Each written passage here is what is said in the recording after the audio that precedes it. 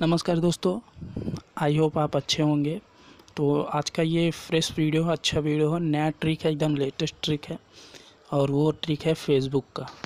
Facebook में एक अभी लेटेस्ट आज ही फीचर्स लॉन्च किया है। उस तो मैं आपको उसको बताऊँगा नहीं उसको करके दिखाऊँगा। तो चलिए फेसबुक को अपना आपको सिंपली खोल लेना है एंड जैसे ही आपका फेसबुक खुल जाएगा, आपको यहाँ पे थ्री डॉट पे चले आना है। एंड नीचे चले आना है, यहाँ पे आपको सेटिंग प्राइवेसी दिख रहा होगा यहाँ पे, और इसके बाद सेटिंग्स पे चले आना है आपको। एंड उसके बाद स्क्रॉल करते हुए कुछ ऐसा पॉपअप खुलेगा एंड उसके बाद स्क्रॉल करते हुए प्राइवेसी पे। एंड योर फेसबुक इन्फॉर्मेशन यहाँ पे आपको लास्ट में आपको ये दिख रहा होगा। मैं आपको दिखा, ये चीज़ दिख रहा होगा। इस पर आपको क्लिक करना है। यही एक नया लॉन्च है फेसबुक की तरफ़ से एंड ये खुल रहा है धीरे धीरे, जैसे खुल जाएगा मैं आपको दिखाता हूँ इसमें आपको आगे क्या करना है।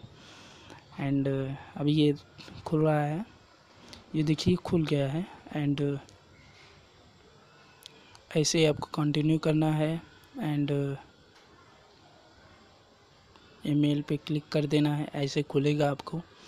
एंड मैं आपको बता दूँ इसमें होता क्या है। इसमें अगर आप अपने मतलब जो फेसबुक का हमने फ़ोटोज़ वीडियो आपका खुद का वीडियोज़ पोस्ट किए हैं, वो आपके गूगल फ़ोटोज़ में सेव हो जाएगा। जी हाँ इसके माध्यम से आपका जो है, वो सेव हो जाएगा।